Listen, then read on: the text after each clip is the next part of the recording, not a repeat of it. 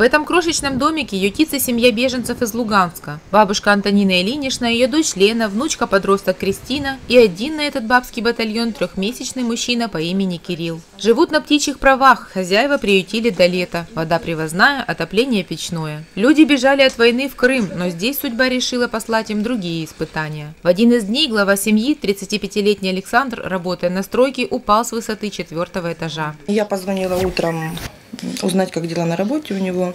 И мне ответила женщина, э, кто вы ему, спросила, кто вы ему будете, я говорю, жена. Она говорит, ваш муж в реанимации. Очень серьезная травма, поврежден шейный позвонок, а руки, ноги как бы уже не работают, отказали работать.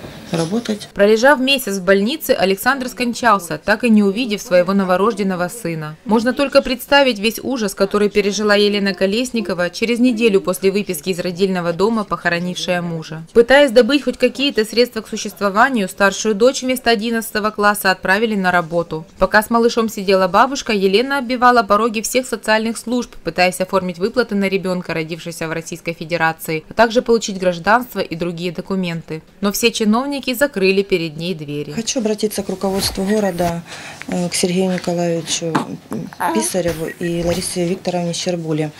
Э, прошу помочь мне оформить э, какие-то документы, может, гражданство как-то оформить и социальные выплаты на ребенка, страховой полис медицинский, вот, чтобы могли меня, мы обслуживаться. Вот, мне, я просто везде была по всем а. инстанциям, мне везде отказали. Просто мне больше, правда, некуда, я не знаю, что мне делать. Сейчас семье помогают добровольцы, которые привозят сухое питание для малыша, одежду, лекарства для бабушки. Но что будет дальше? Сегодня в Минске главы четырех стран решают судьбу тысяч людей. И, конечно, не знают о том, что где-то в Керчи молятся о прекращении огня. И за людей, и за свой край, и за Донбасс, и за наших ребят, и за матерей, и за детей. Сколько их уже детей этих.